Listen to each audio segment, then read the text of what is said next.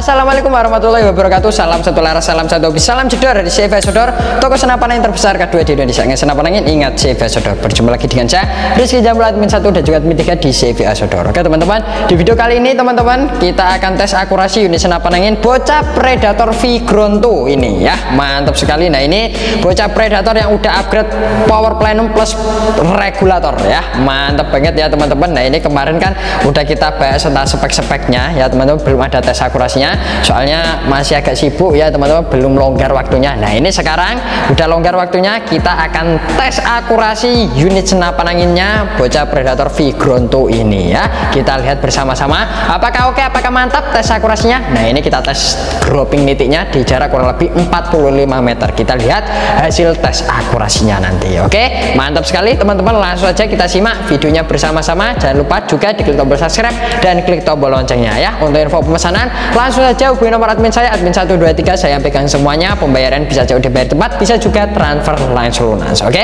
Langsung saja kita simak videonya berikut ini. Check it out oke teman-teman. Nah ini senapan yang kalian nanti nantikan tes akurasinya. Ya teman-teman. Nah ini baru kita ya pekerjaan udah agak longgar. Ya baru sempat ngetes ini. Ya teman-teman. Kemarin kemarin kemarin kemarin masih ada banyak acara.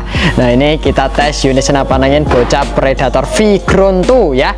Mantap sekali. Nah ini kita tes nitik groupingnya di jarak kurang lebih 45 meter ya. Mantap sekali teman-teman. Nah itu kita tes di tembok. Ah langsung saja kita saksikan bersama-sama pelurunya menggunakan peluru Hercules ya. Nah 13 green. Nah ini yang udah pakai power plenum ya 13,6 green. Nah ada 6 nya tak buatkan bidikannya di sana. Oke. Okay. oke okay, itu udah kelihatan. Nah itu. Nah. coba apakah masih plung di sana? Itu kan bidikan oke okay, plung mantap sekali teman-teman Oke, mantap sekali. Tatarannya udah pada gombal. Nanti dicor lagi, mantap sekali ya. Nah, itu langsung dicornya. Kalau di herbulnya nggak terlalu kelihatan. Oke, mantap sekali dropping ya. Nah, kenapa? Nah, biasanya efek angin. Oke, kembali lagi. Hmm, oke. Oh, sudah di 2000. Pokoknya ini tadi kan 2000, Mas. Oh, gitu. Sudah sama seperti OP-nya. Oke. Mantap sekali. Ya. ya, betul. Sudah pada mantap. Nah, soalnya ini udah. kurang lebihnya ini sudah nggak pakai regul, Mas. Karena OP-nya ini yang unit ini 2000. Nah, udah sama kayak OP. Nah, tarik aja ya. Oke. Di situ. Nah, sudah non ragul ini. Oke. Uh, OP. Mantap sekali, tetap grouping cantik ya. Boleh, boleh tak pompa? Boleh. Nah, biar tahu perbedaannya. Ya. Oke, ya, ya itu Teman -teman dia. Teman-teman tahu perlihat apa perbedaannya ya. Nah, biar dipompa pompa sebentar.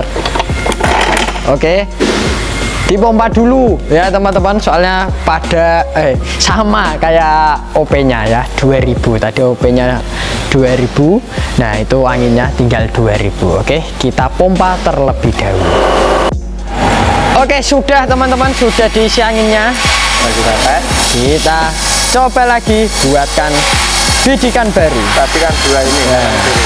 apakah sedikit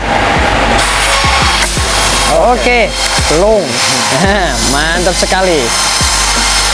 Tetap konsisten. Mantap sekali. Di atas sedikit grouping cantik.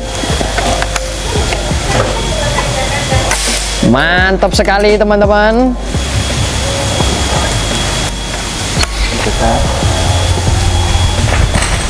Oke, mantap banget ya.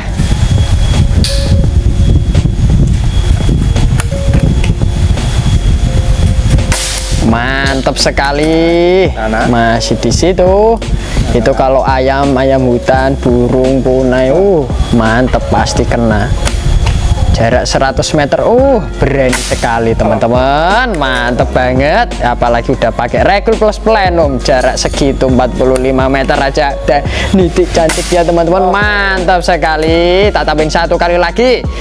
Oke. Kelihatan berat-beratnya enggak Pak? Kelihatan sekali. Mantap banget ya. Oke kita nyatakan lulus tes akurasinya nah ini dia unitnya Predator Vigronto. Oke sampai sana tadi. Nah itu di situ ya. 45 45 meter ya.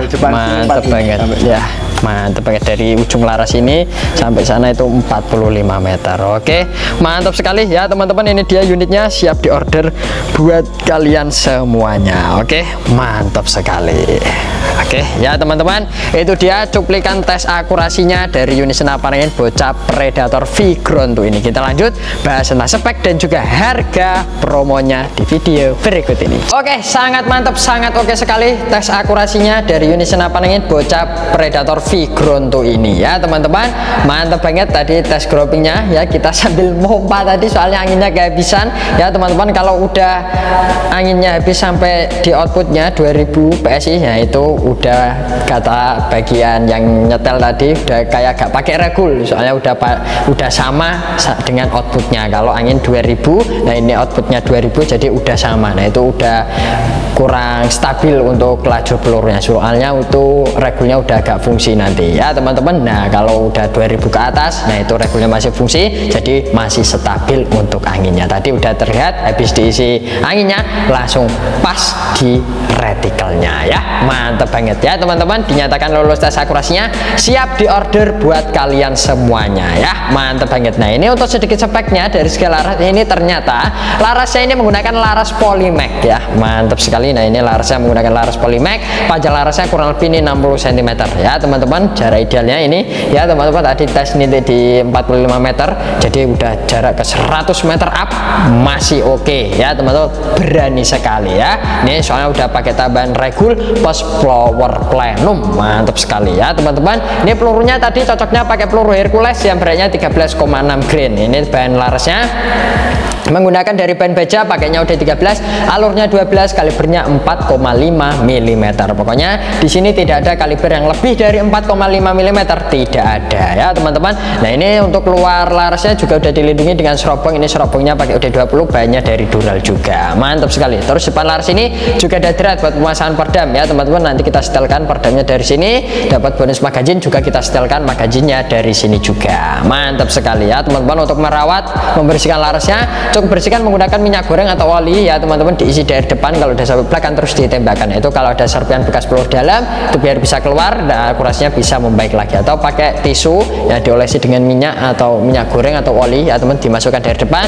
Kalau udah sampai belakang terus ditarik pelan-pelan. Nah, itu mengangkat kotorannya ya teman-teman sampai keluar ya. Jadi itu bisa membersihkan larasnya akurasinya biar membaik lagi. Biasanya caranya seperti itu ya. Mantap sekali. Nah untuk tabungnya ini menggunakan tabung bocap 500 cc untuk kapasitas sama angin ada di 2700 2800 PSI ya teman-teman. Nah pokoknya diisi di amannya saja 2700 2800 PSI ya teman-teman kalau anginnya udah sama dengan outputnya 2000 ya itu bisa diisi lagi biar stabil lagi untuk laju pelurunya. Kalau udah benar-benar sampai keluar dari outputnya udah sama tapi udah menurun biasanya ah, bahayanya itu ada kebocoran. Jadi kalau udah sama dengan output ya teman-teman nah disilakan diisi lagi. Seperti itu ya teman-teman. Nah ini regulnya pakai regul point ball. Mantap sekali. Power plenumnya pakai UD28 mantap banget ya teman-teman. Nah untuk merawat tabung diisi di amannya saja. 2700 2800 PSI nah untuk chambernya ini menggunakan chamber monoled. Banyak dari Dural Sharing 6 pembuatan semi CNC ini hammernya udah pakai hammer stainless. Ya teman-teman tarikannya pun udah menggunakan tarikan seat lever. Bisa pakai magazine bisa juga pakai single shoot. Untuk rel teleskopnya di atas ini menggunakan rel teleskop yang atas menggunakan rel teleskop rel 11 yang bawah seperti ini menggunakan rel teleskop Picatinny OD22 oke mantap sekali. Nah untuk triggernya pakai trigger match. Sudah ada safety triggernya di sebelah chambernya sini di sebelah kiri. Kalau didorong ke depan dia otomatis kunci. Kalau ke belakang dia normal lagi. Untuk popornya memang belum popor lipat masih menggunakan popor maju mundur seperti ini. Ya teman-teman ini setelan powernya juga udah di luar. Kalau diputar sebelah kanan nambah agak kencang lagi. Ya kalau pengen agak irit diputar saja ke sebelah kiri. Tapi udah pakai power udah re pakai regul plus power plenum jadi ya tergantung outputnya bagaimana. Ini outputnya tinggi 2000 jadi sangat mantap buat jarak jauhnya sangat oke sekali. Untuk unit-unit yang seperti ini udah pakai regul plus power plenum nah itu memang kalau buat berburu babi agak kurang cocok soalnya memang powernya beda dengan unit-unit bocap yang belum upgrade seperti ini ya teman-teman. Jadi lebih besar yang pakai ya standar ya teman-teman seperti yang belum pakai regul plus power plenum. Nah itu cocok buat big game buat small game masih cocok. Cuma kurangnya itu kurang enaknya kurang stabil kalau buat jarak jauh. Tapi kalau udah power plenum plus regul buat long range itu enak lebih stabil keluar anginnya. Jadi kita bisa menentukan bagaimana anginnya di mana nah itu bisa teman-teman ya. Enaknya pakai regul plus power penum itu gitu bisa buat long range memang buruannya ya buat berburu tupai terus juga punai gitu ya teman-teman. Buat ya buat berburu hewan-hewan kecil ya.